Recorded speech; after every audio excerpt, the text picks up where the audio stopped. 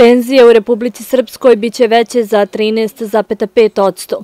Povećanja znače najstarijoj populaciji, ali i dalje smatraju da iznos penzija nije dovoljan za život. Kako su penzioneri ugroženi, trebalo bi.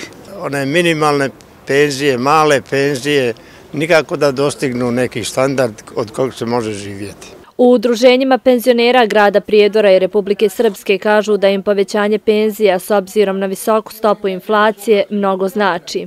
Mi smo ovo očekivali od našeg predsjednika vlade, gospodina Radovana Viškovića, jer smo mi to ranije dogovorili.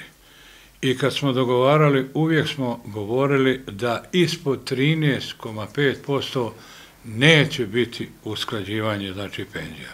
Prema tome, predsjednik vlade Republike Srpske je ispoštao maksimalno ono što smo se mi dogovorili. Na osnovu statističkih podataka koje je objavio Republički zavod za statistiku, procent rasta procesne plate i procent rasta maloprodajnih cijena na malo, odnosno inflacije, zbir ta dva procenta, 50% tih toga zbira je osnovica za povećanje januarske penzije, a to je pokazao Zavod za statistiku 13,32.